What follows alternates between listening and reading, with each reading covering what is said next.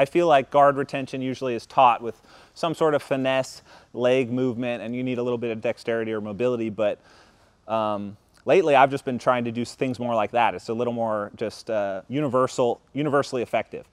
Now, not all guard situations are going to be more like crushing, like pin their hips and pass. That's a, this is a perfect opportunity for this kind of stiff arm defense on one of the sides of my head.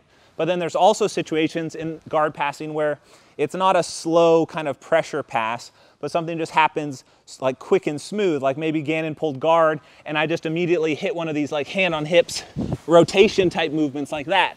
And so there was no opportunity for you to really grab that. You're just instantly in a position where you're being passed. And in those situations, you do have to do like certain hip switches or different movements with your body where you do a full like 180 twist. Because if he just lets me do this, he's gonna rotate all the way out there and I'm, I'm gonna be on his back. So he would have to, as I push, like hit a hip switch to face me again and then do some sort of movement either with his leg or with his hand. Okay, so I'm gonna show you um, one thing you can do again and kind of just demonstrate it there, it there a little bit. So when this happens, I want to have my legs engaged still. And anytime someone does sort of one of these like steering wheel style passes, and these happen with toreandos, like if you go ahead and do Toreando, like this can happen with Toreando, It can happen with over under. If he has kind of a good over under position and he walks my leg through like this, there, I would get past. So all of those sort of situations where he moves this way and then twists my body and steering wheels my legs out of the way, you'll find that you have two options. One option, go ahead and do it slow. One option you would think would be to like bring your leg over. And sometimes I do this. I would post on the shoulder and try and bring my leg over. But this doesn't really set me up in a very good position. I'm not back in a guard. I would just have to kind of follow through. But if he's quick, he may like drag me through here and come to the, the other side. So it's, it's kind of prolonging the inevitable.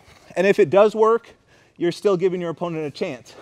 And then there's other situations where maybe instead of grabbing high at my knee, he grabbed a little bit lower on my pants like this, so that when he does the same movement and I try and bring my leg over, he's just able to block it completely. And if I continue to do the same thing, he go ahead and follow through. If I don't get that leg over, he will pass.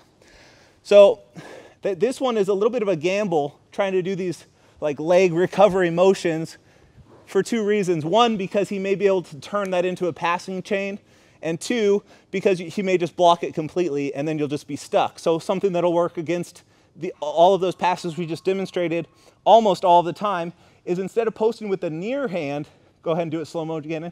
If I post with the near hand, we enter that situation I just described.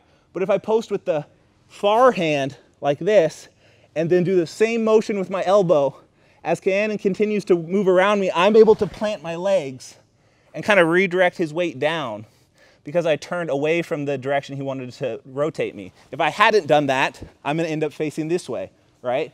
Here, he would drive in and it would rotate me this way.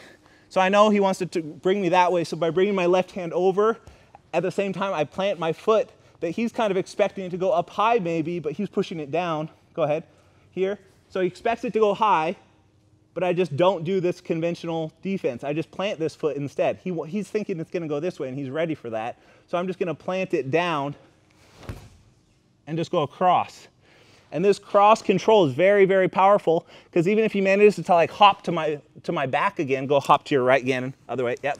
Here, I'm still in that kind of same scenario we just practiced. So do you see how those things kind of connect? They're two different movements, but they also they function on this kind of same stiff arm principle. So this is a very powerful one to learn. Just being here and not necessarily always, let's rotate back this way, not necessarily always relying on your legs as your primary recovery movement or your recovery frame, but using your arms and the ability to like get up also. So I'm gonna show it one more time. They're gonna grab and you're just gonna plant and bring your elbow high. And then from here, just come back, just like that.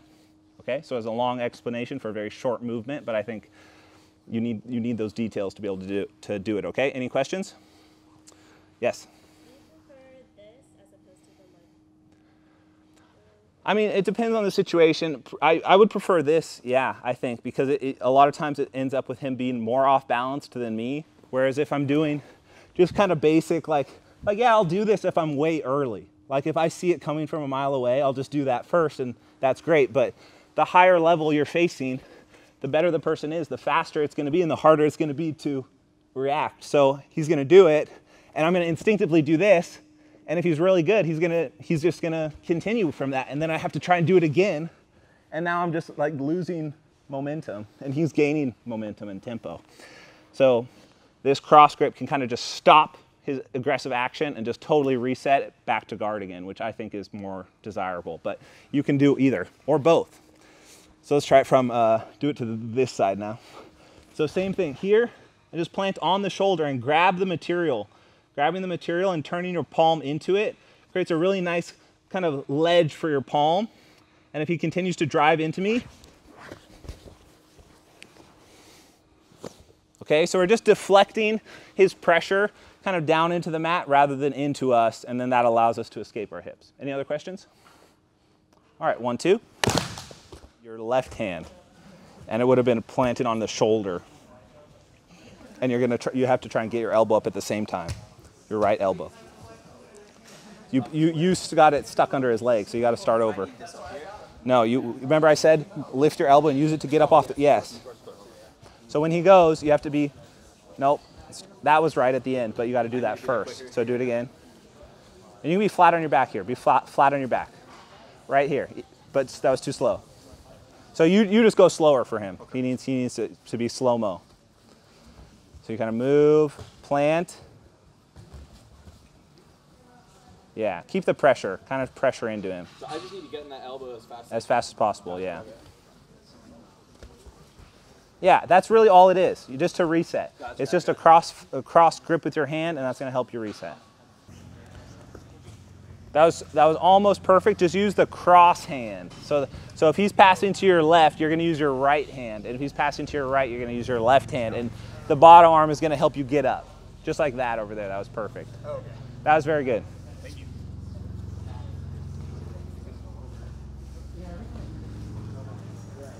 Nice, Brenda. That was perfect. Nice.